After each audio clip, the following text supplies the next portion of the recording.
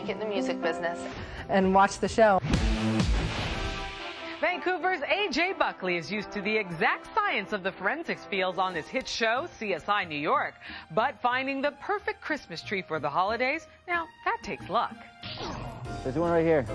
Oh, Christmas tree? There, that one right there. Oh, Christmas tree. Finding that perfect pine wasn't an easy task for CSI New York star AJ Buckley and his folks.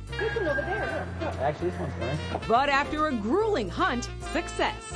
And a tree to call their very own. But choosing a tree was only the first problem. Lights are next. I was gonna go for the middle and crisscross. You gotta go from the bottom to the top because the angel has to be plugged in at the last. Despite some lighting issues, AJ is glad to be back home in Vancouver, taking a break from starring as lab technician Adam Ross on the hit TV drama. If I can get my hands on the list of fishermen who are involved in the charter boats, maybe a name pops up.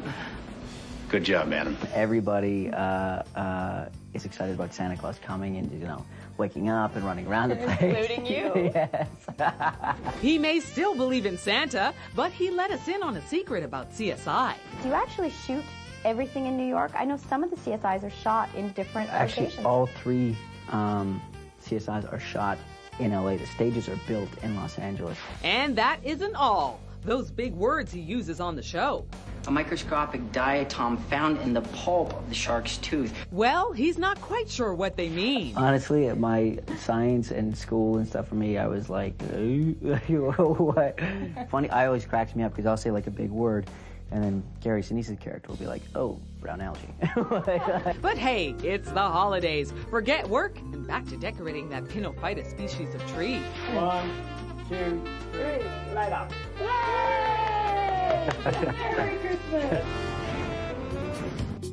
Now let's test your Intel EQ. AJ Buckley was once in a rock band with which Canadian star?